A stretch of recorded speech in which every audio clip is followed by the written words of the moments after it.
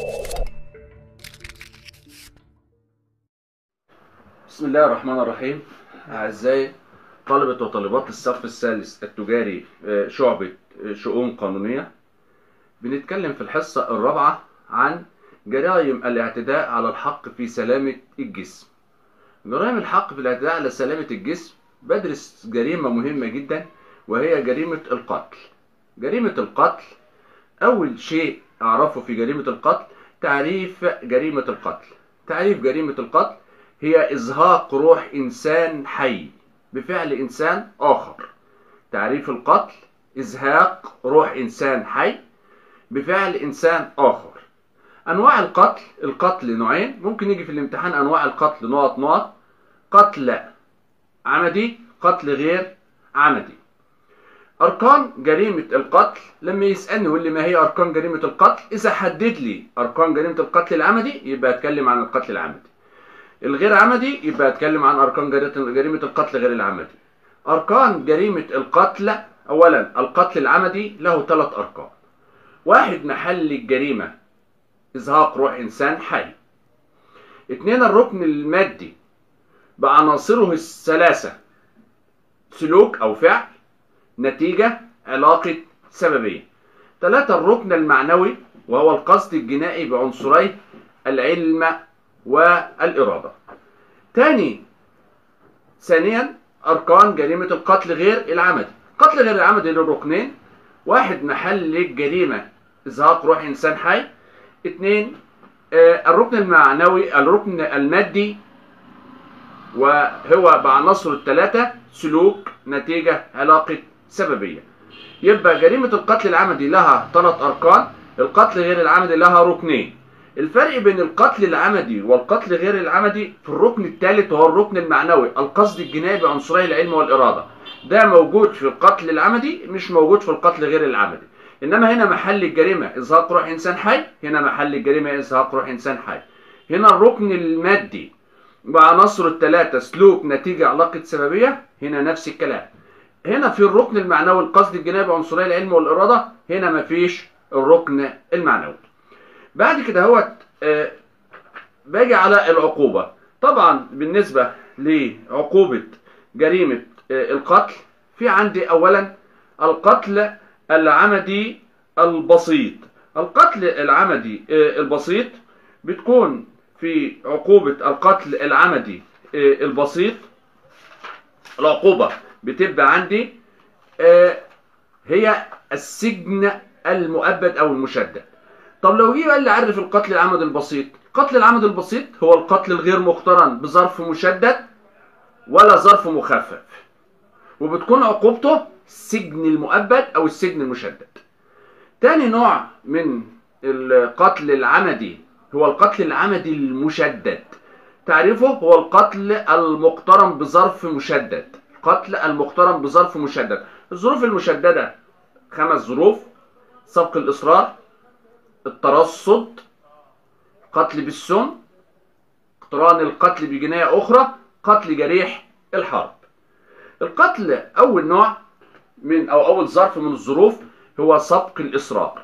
تعريف سبق الإصرار هو القصد المصمم على ارتكاب الجريمة.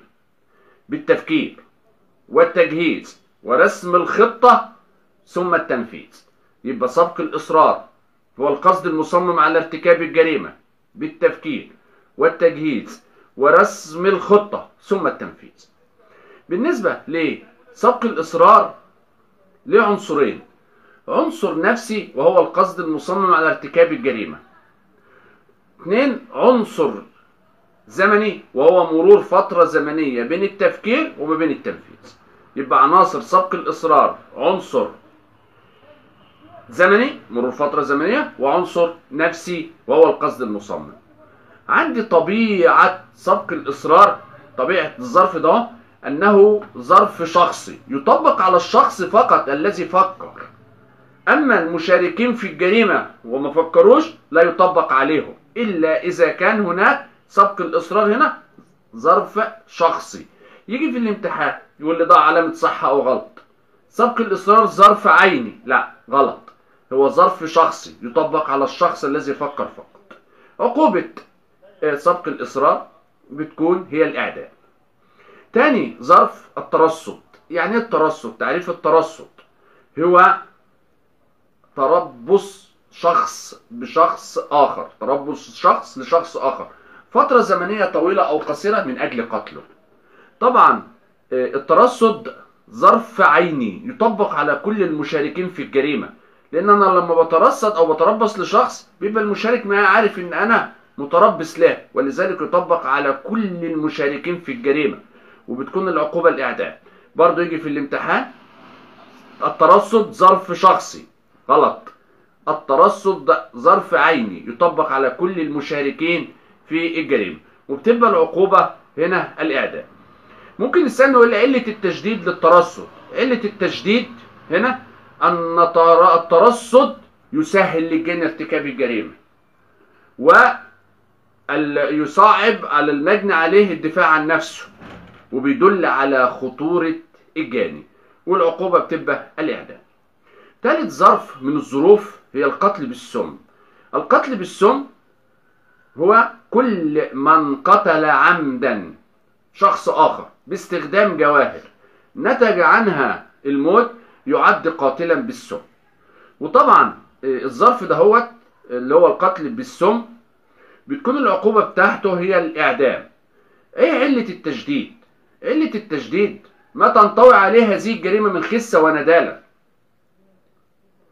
حيث أن الجاني دائما يكون على صلة بالمجني عليه وسهولة تنفيذ القتل. إن بالقتل بالسم عملية سهلة.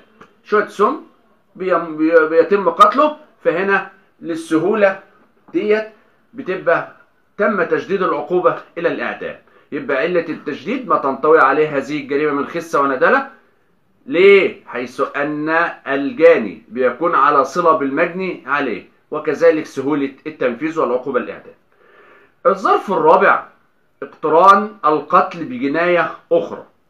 كل من ارتكب جريمة قتل واصطحب معها أو ارتكب معها. جناية أخرى بتكون هنا العقوبة الإعدام علة التجديد. أن ارتكاب الجاني لجريمتين تدل على خطورة الجاني.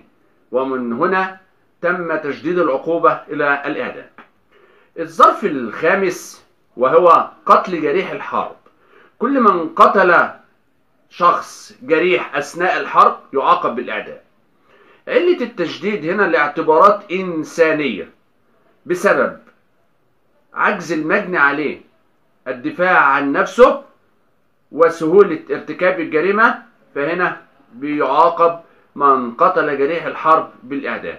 ولكن لابد من توافر شرطين. الشرط الأول أن يكون جريح الشرط الثاني أن يكون أثناء الحرب.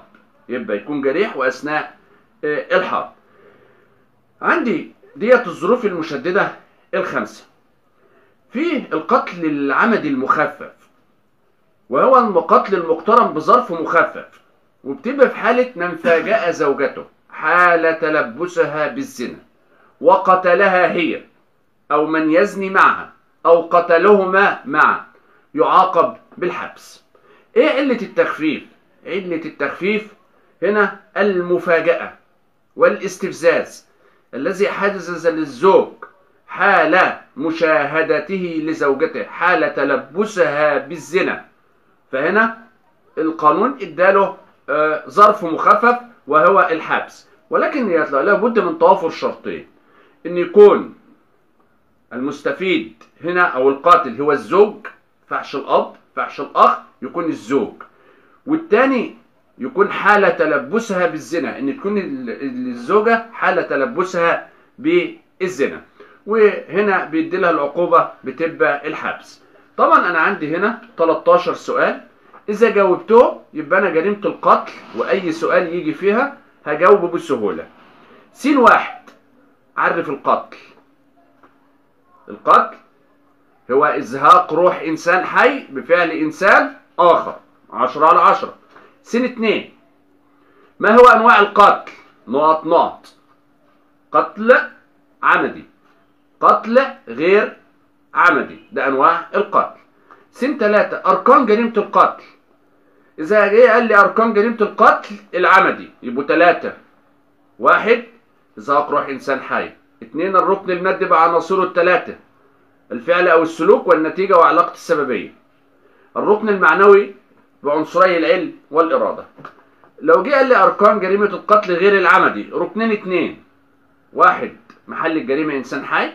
اتنين الركن المادي بعناصره الثلاثة سلوك نتيجة علاقة السببية. النتيجة اللي هي النتيجة إيه؟ الإجرامية. أربعة عقوبة القتل العمدي البسيط.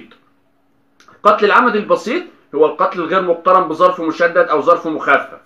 والعقوبة بتبقى السجن المؤبد أو المشدد. ممكن يجي في الامتحان عقوبة القتل العمدي البسيط نقط نقط السجن المؤبد السجن المشدد. عرف كل من القتل العمدي البسيط هو القتل الغير مقترن بظرف مشدد أو ظرف مخفف.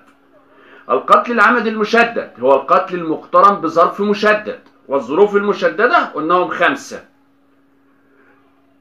سبق الإصرار ترصد قتل بالسم قتل جريح الحرب اقتران القتل بجناية أخرى. قتل العمد المخفف هو القتل المقترن بظرف مخفف. وهنا من فاجأ زوجته حال تلبسها بالزنا وقتلها أو قتل من يزني بها أو قتلهما معا يعاقب بالحبس. سن ستة ما هي الظروف المشددة والعقوبة؟ الظروف المشددة سبق الإصرار ترصد قتل جريح الحرب قتل بالسم اقتران القتل بجناية أخرى والعقوبة في الخمس ظروف هي الإعدام. عرف سبق الإصرار؟ سبق الإصرار هو القصد المصمم على ارتكاب الجريمة بالتفكير والتجهيز ورسم الخطة والتنفيذ. عناصر سبق الإصرار عنصرين عنصر زمني في مرور فترة زمنية ما بين التفكير والتنفيذ. عنصر نفسي وهو القصد المصمم على ارتكاب الجريمة. طبيعة سبق الإصرار عشان ما توه سبق الإصرار تفكير شخصي. طبيعته أنه ظرف شخصي. يطبق على الشخص نفسه. عرف الترصد؟ الترصد هو تربص شخص لشخص آخر. فترة طويلة أو قصيرة. ليه؟ من أجل قتله. علة طبعا الطبيعة الأول طبيعة الترصد أنه ظرف عيني. يطبق على كل المساهمين أو المشاركين في الجريمة. علة التشديد علة التشديد للترصد هو عنصر المفاجأة. عنصر المفاجأة يسهل للجاني ارتكاب جريمته ويصعب للمجني عليه الدفاع عن نفسه وبيدل على خطورة الجاني وسهولة ارتكابه للجريمة. آه عرف القتل بالسم وعقوبته وعقوبته قتل بالسم وعلة التجديد القتل بالسم كل من قتل عمدا باستخدام جواهر. جواهر يعني مواد يعد قاتلا بالسم. طبعا عندي العقوبة بتكون الإعدام. علة التجديد ما تنطوي عليه هذه الجريمة من خسة وندالة حيث أن الجاني دائما يكون على صلة بالمجني عليه كذلك سهولة تنفيذ الجريمة والعقوبة طبعا الإعدام. عرف اقتران القتل بجناية أخرى؟ إذا ارتكب شخص جناية القتل أو ارتكب جريمة القتل ومصحوبة بجناية أخرى يعاقب بالإعدام. علة التجديد أن ارتكاب الجاني لجريمتين قتل وجناية أخرى يدل, يدل على خطورة الجاني طبعا عرف قتل جريح الحرب والشروط الخاصة بجريمة قتل جريح الحرب وعلة التجديد. قتل جريح الحرب من قام بقتل جريح أثناء الحرب يعاقب بالإعدام. إيه الشروط إن يكون جريح؟ واحد جريح. اتنين أثناء الحرب. علة التجديد لاعتبارات إنسانية لعجز الجريح أو المجني عليه عن الدفاع عن نفسه. س 13 عرف القتل المخفف. هو القتل المقترن بظرف مخفف. وبيكون العقوبة بتاعته الحبس. من فاجأ زوجته وقتلها هي ومن يزني بها أو قتلهما معا يعاقب بالحبس.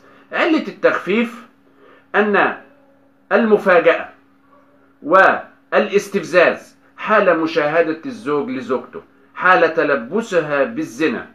هنا بيتم التخفيف عن الزوج.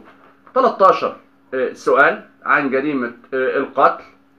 إذا أي واحد أو واحدة فيكم حل هذه الأسئلة ال 13 هنا بتكون جريمة القتل عرف كل جزئية فيها ويا ريت يكون إحنا الاعتماد على الفهم وليس الحفظ. وبكده جريمة القتل بنكونوا خلصناها والحصة الرابعة تكون انتهت والسلام عليكم ورحمة الله وبركاته.